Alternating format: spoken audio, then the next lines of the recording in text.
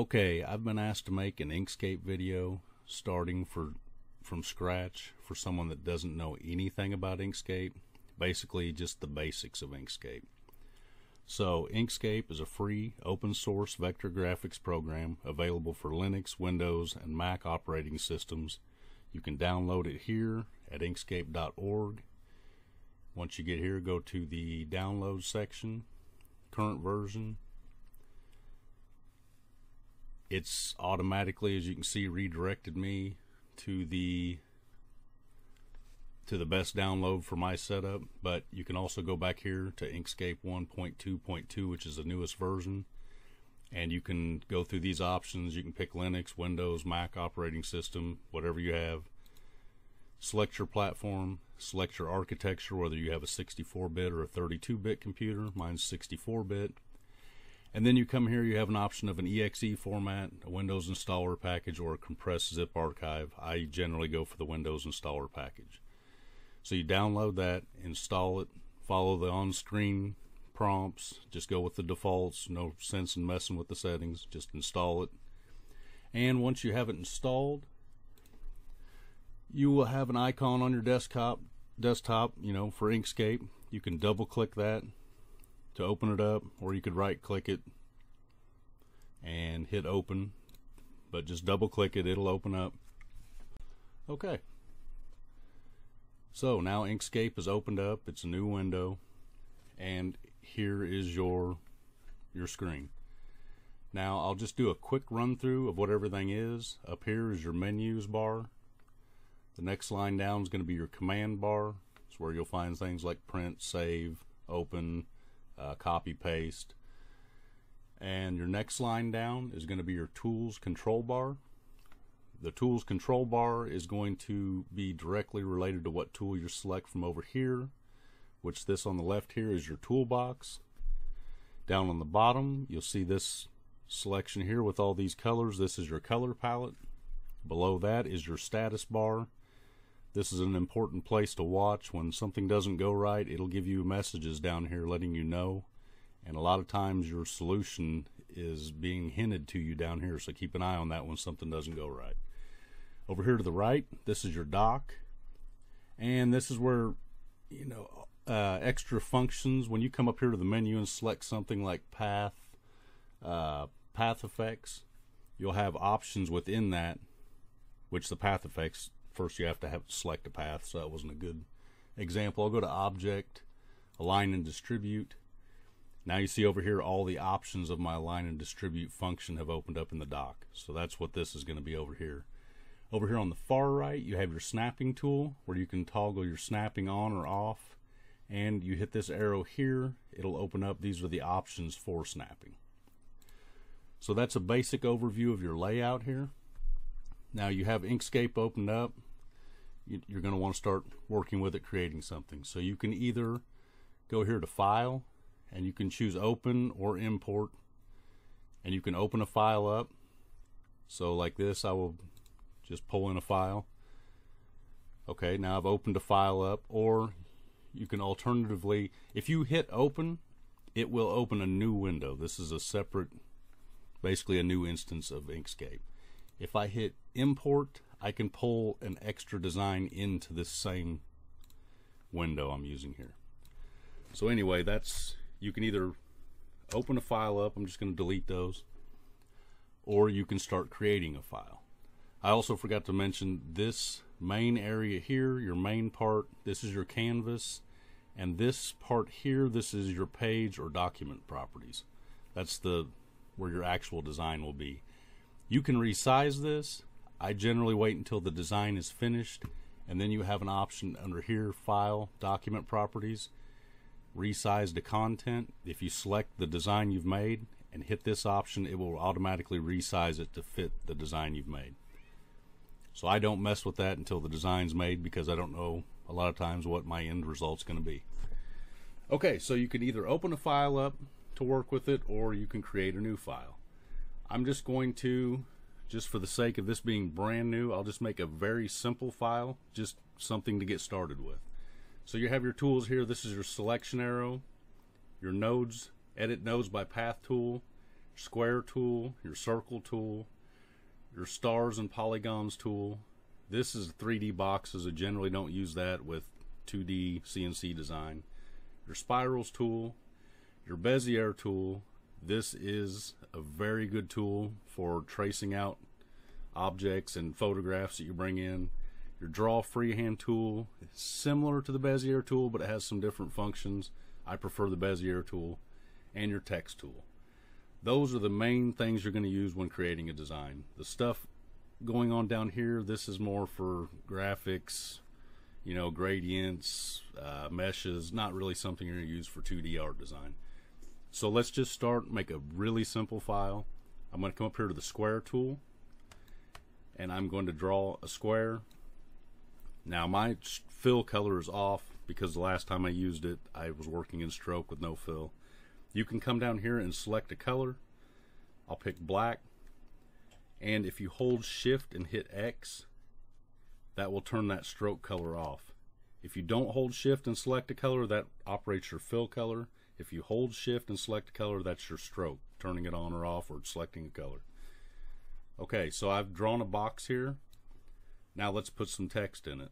So I will go to my text tool, click anywhere on the screen, and I'll just type out welcome.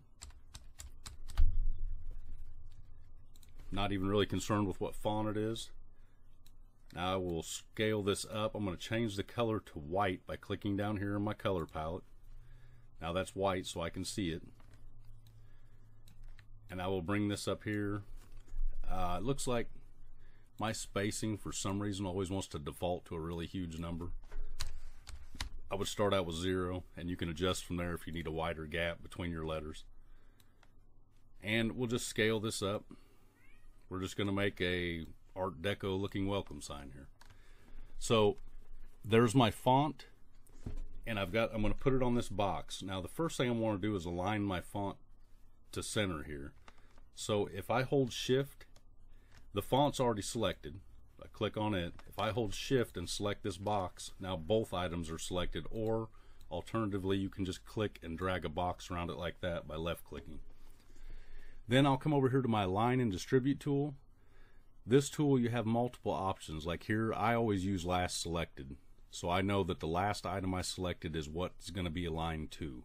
You can also go with first selected, you can align to the page, to the drawing, multiple options. I go with last selected. So now if I hit this center on vertical axis and this center on horizontal axis, that will center my font up perfectly in that rectangle. So now my font's centered where I want it.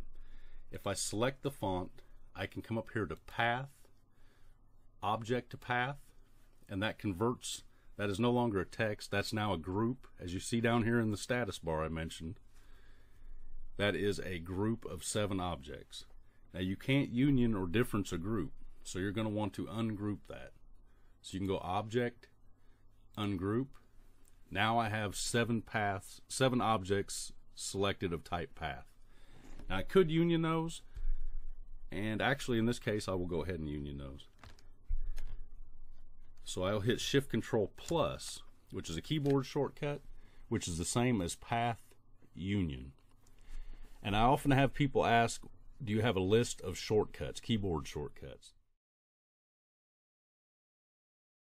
When you go to any of these menu options and scroll down, over to the right, you'll see these.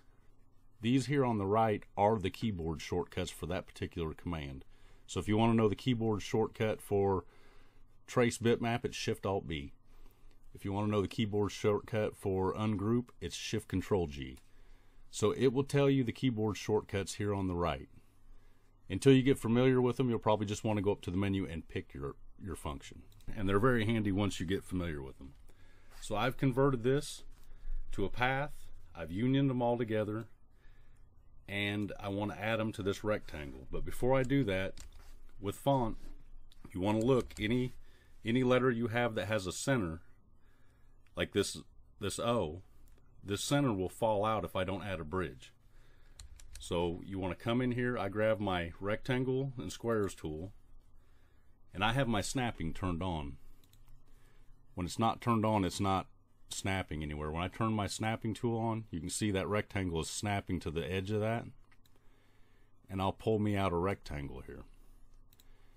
Now when you're making a bridge, you want to go minimum eighth inch if you can get away with it. Sometimes if you're working with really small text or features, you can't quite get an eighth inch, but I generally go for at least an eighth inch thick. That way I know it's strong enough to hold in there. In this case, these being bigger letters, I would probably, I'll go with 200 thousandths. That will be plenty strong and it's not big enough that it takes away from the look of the O there. Now I can change that color to black and then you can see what that bridge will look like when I add it. And that bridge will add a tab there to hold that center in. So now what I'm going to do, I've got my bridge ready. It's aligned where I want it. I click on it and then I'll click on the font or the path there and hit path difference. That will now, that cut that out. So now I have a bridge here that will hold this center of this zero in or, or O, sorry. So now this is a solid path. It's been bridged. There's no centers that will fall out. The last thing to do is select the rectangle and I'm going to go up here to path difference and difference that out. Now, if I come over here to my edit paths by nodes tool and click on the design, you can see that's all one path now. There's no, there's not two separate paths there, it's all one path. The last thing to do here would be node reduction. When you're in your edit paths by nodes tool, you can come in and you can drag a box around multiple nodes at a time, or you can select just one and delete those extra nodes by hitting backspace on your keyboard.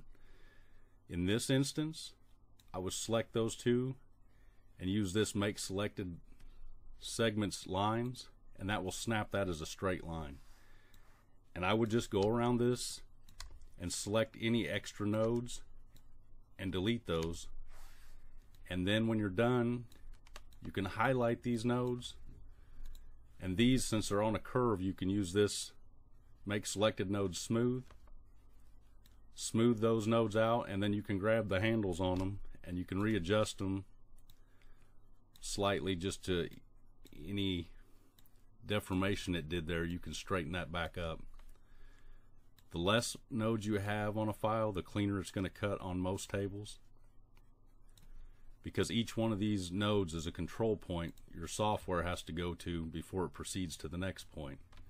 So the least the less nodes you have, the less control points it has to go to, the cleaner and the smoother it'll cut. So you work your way around. Oh, turn my snapping back off. Work your way around adjust these. Minimize your nodes. Uh, see, I get rid of that one, that one. Uh, maybe leave those two. Uh, it's kind of preference when you go through these. I hit Control Z to go back. Anytime you do something you don't want, you can just hit Control Z or Edit Undo, and you can go back. Um, let's see here. I'll do this one and this one, and probably that one. No, messed up again. I'll do that one. Anyway, you can play around and you'll you'll get the hang of it. And don't think people are a little afraid to delete things because they're afraid they'll screw something up. Like I say, Control Z is your best friend. You can go back on anything you do if you make a mistake and you can fix it. But reduce the nodes as minimal as you can and still maintain the proper contours there. Once you're done reducing your nodes, as I said, you can adjust this document property. It doesn't really matter for CNC cutting, but some programs it does. So you'll want to zero this out by going to document properties. That will open up this window and you can select this with the path selected and that just resized the document to fit the path perfectly. Once you're finally done, this design is done. I can send this to my CNC to cut.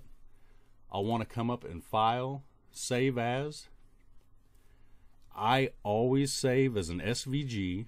So I'll hit, uh, we'll call this sample. And I'll save that. and then I also normally save as and come back in here. This time I'll drop down and select desktop cutting plotter DXF R14. Save that. And this will pop up an extra window. I always use L polyline, inches for the base unit. Latin and this, you just leave those alone. Hit OK. Now I've saved a DXF. Now I can go to my post-processing program. I personally use SheetCam, but whatever post-processing program you're using, and now you can open that file up and apply your cut operation. So that is hopefully a quick to the point uh, welcome to Inkscape. Hopefully this helps some people out. That's just covering the basics. Um, trying to think if there's anything else I really should cover for just the basics. I'm obviously going to follow this up, and I have other videos already on YouTube, but I will follow up with going more in depth on certain menu items because if I went all the way into everything, this could drag out for hours, literally. Like just path, path effects, just this one option alone. When I hit plus here, you'll see it has so many different options that you could burn up an indefinite amount of time trying to explain each one of these. So I'm not going to go in depth on all this stuff right now. But that gets you started from installing the program to opening up a file or creating a file, saving the file. That should get you going. The one other thing I will mention here, I'm going to now close this. I've saved it. I'm going to hit close without saving. I'm not really worried about that anyway when you're working in Inkscape, everybody wants new fonts. A great source of new fonts is DaFont. You can come here to dafont.com. You can scroll through an unreal amount of fonts here, pick ones you like, look for ones that look like they'd CNC cut better. Um, but pick fonts you want, you can download them.